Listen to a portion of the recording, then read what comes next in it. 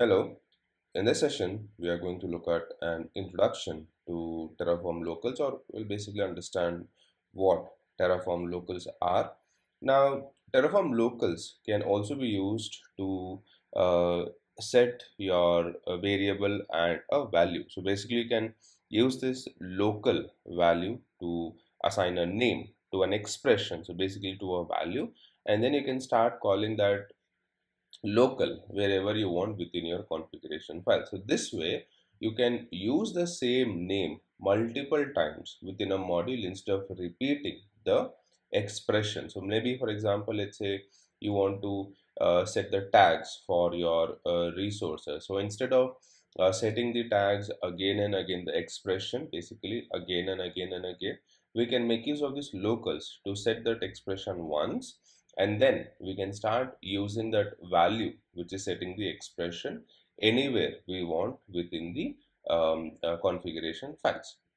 So if you're familiar with the traditional programming languages, uh, it can be useful to compare the Terraform modules to function definitions. So we have your input variables which are like your function arguments. So we have already looked at your uh, input variables that can be used to set certain uh, variables. So if you don't want to hard code anything like the AMI or the instance type or the security group ID. So if you want to, if you don't want to hard code any of those values, we can make use of your input variables. Then we have the output values, which are like your function return value. So at any point, if you want to return some information or if you want to expose some information, we make use of your output values.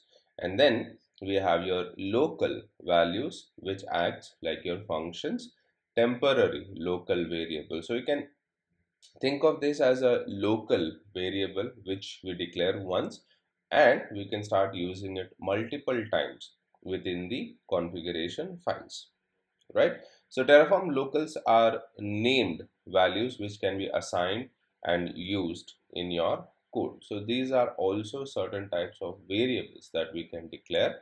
Uh, so we can set a variable name and an expression which basically specifies the value for that uh, local name and then we can start calling that anywhere we want within the configuration file. So this mainly serves the purpose of reducing the duplication within the Terraform code. Like I said, for example, let's say um, you're creating 10 resources. Now, uh, for those 10 resources you want to set the tags.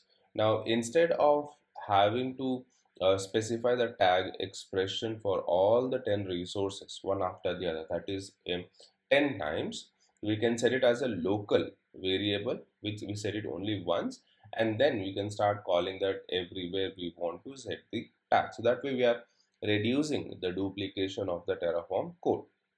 So when you use locals in the code since you're reducing duplication of the same value, you also increase the readability of the code. So one uh, advantage that you have with this Terraform locals is uh, you're setting it only once and you can use it multiple times, which improves the uh, readability of your code. So in the future, if the future maintainers are looking at the code, the readability of the code will be much better and people will be able to understand um, what we are doing in that configuration files.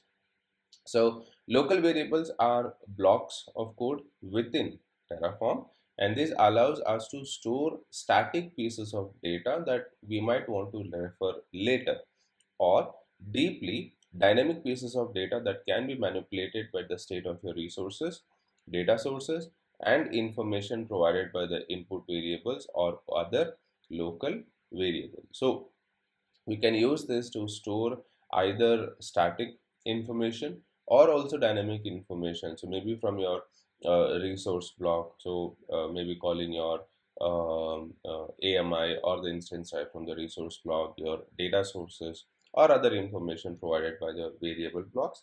So all that information can be stored in the uh, locals. And we can also store static information which is never gonna change.